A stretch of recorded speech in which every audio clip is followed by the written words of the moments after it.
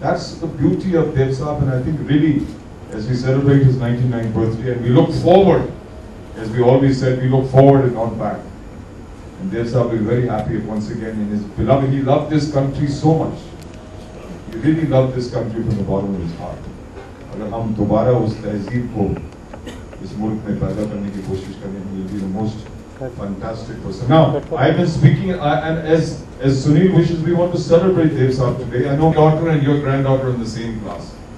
मैंने उनसे वो बहुत सारी बातें सुनी थी जो टॉम साहब ने मेंशन की और जिनका ज़िक्र उन्होंने किया यस बिल्कुल मुझे बहुत अच्छा लग रहा है ये सॉलम मोमेंट है लेकिन ये खुशी का मोमेंट है क्योंकि डैड हमेशा चाहते थे हमेशा फॉरवर्ड लुकिंग थे और वो चाहते हैं कि हम इस मोमेंट को सेलिब्रेट करें। हम रोए नहीं, आँसू आँसू नहीं बहाएँ उनके लिए इस वक्त। और ही वॉज़ फॉरवर्ड थिंकिंग तो आई एम हैप्पी वो इतने जोशीले थे कि वो अपनी नेक्स्ट फ़िल्म प्लान कर रहे थे। हम वापस इंडिया आने वाले थे उन्होंने कहा कि जल्दी वापस जाते हैं और फ़िल्म शुरू करते हैं। उनकी स्क्रिप्ट तैयार थी।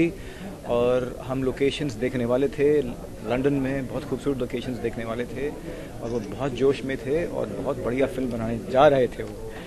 तो अब आप उसको आगे बढ़ाएँगे किस तरह की बिल्कुल अभी हम अलग अलग किस, किस्म की फ़िल्में बनाएँगे। सबसे पहले एक अंग्रेज़ी फ़िल्म शुरू करने जा रहे हैं। उसके बाद फिर एक हिंदी फ़िल्म भी स्टार्ट करेंगे बिकॉज़ वो भी हम ओवरलुक नहीं कर सकते।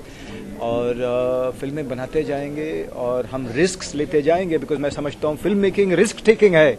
जब तक आदमी रिस्क नहीं लेता है फ़िल्म नहीं बना सकता है। अगर आप कॉपी करो कहानियों को, फ़िल्मों के रीमेक्स बनाओ तो आपने कौन सा बड़ा तीर तीर मारा है? है ना? डैड जो हैं, वो रीमेक्स से डरते थे। वो नहीं चाहते थे कि कोई भी उनकी फ़िल्में रीमेक हों।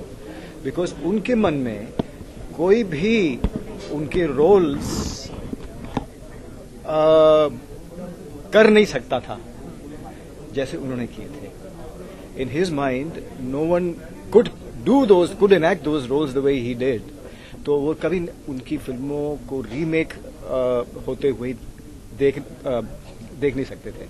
अगर आपने देखना नहीं चाहते थे। अगर आप कभी भी आप कभी भी।